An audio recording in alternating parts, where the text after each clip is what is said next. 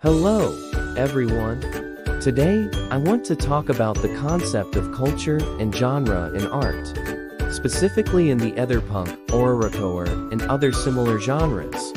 Genres are categories of works of art that share certain common elements, such as themes, motifs, techniques, and style. These elements give a particular work of art its distinct identity and set it apart from other works in the same genre.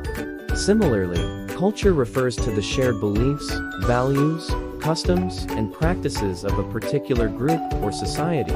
It is a way of understanding the world around us and the experiences of people who belong to that group.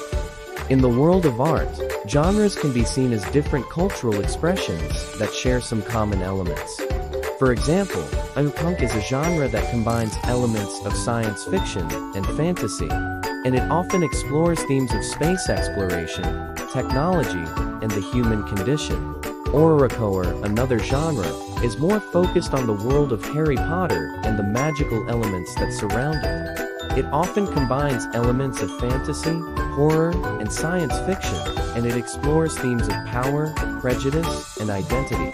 These genres are not limited to specific time periods or locations, and they can be found in many different cultures and societies around the world. They are a way for artists to express their ideas and emotions about the world around them, and they can be a source of inspiration and entertainment for readers and viewers alike.